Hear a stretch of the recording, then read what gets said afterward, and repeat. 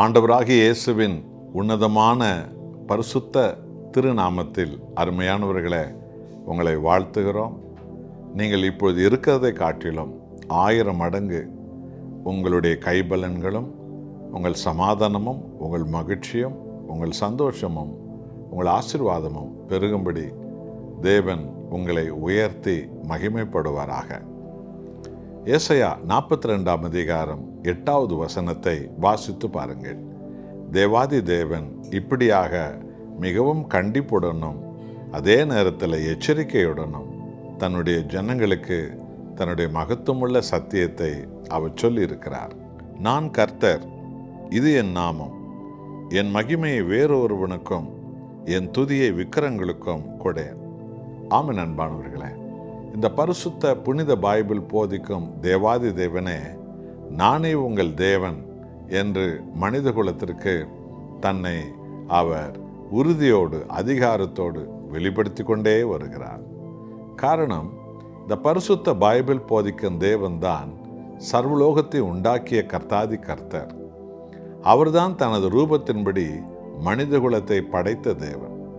அவர்தான் அந்த தேவனை ஆராதிப்பதற்கென்று நம்மையெல்லாம் அவர் ரட்சித்து அவர் பரிசு தாவியால் நிரப்பி அவருடைய ஜீவ வார்த்தைகளை உயிருள்ள வார்த்தைகளை நமக்கு கொடுத்து அவருடைய வார்த்தையின்படி அவருடைய கட்டளையின்படி நாம் நடந்து அந்த தேவாதி தேவனுக்கு நாம் தாமே பணிந்து குனிந்து அவருக்கு ஆராதனை செலுத்தும்படியாக நம்ம எல்லோரும் அழைக்கப்பட்டிருக்கிறோம். ஆகவே பிசாசு இந்த ஆராதனைகளிலே பாவத்தில் உலகம் விழுந்த காலம் முதல் இன்றைய வரைக்கும் ஆராதனைகளில் தான் பிசாசு பல கோடி மக்களை இன்றைக்கும் அவன் ஏமாற்றி திசை மாற்றி அவர்கள் கண்களை குருடாக்கி அடிமைப்படுத்தி வைத்திருப்பதை நாம் காணலாம். ஆனாலும் சர்வ வல்லமுள்ள தேவன் தன்னுடைய மகத்துவ சத்தியங்களை மனித குலத்திற்கு சொல்லுவதில் அவர் மிகவும் உறுதியுள்ள தேவனாய் இருக்கிறார். நான் தேவன் நானே கர்த்தர் நானே கடவுள்.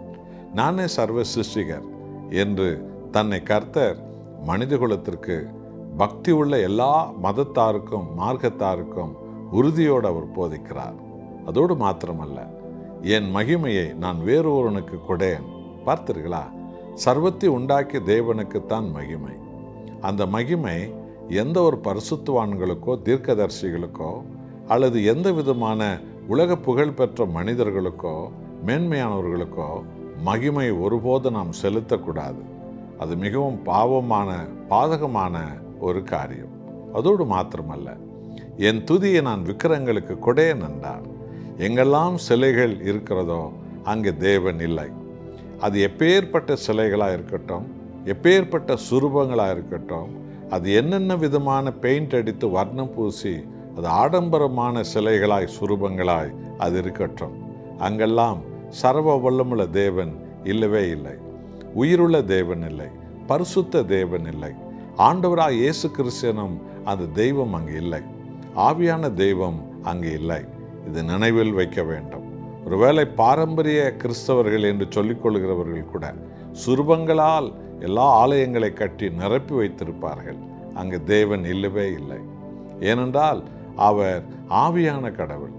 அவர் பரிசுத்த கடவுள். அவர் சத்தியத்தின் கடவுள்.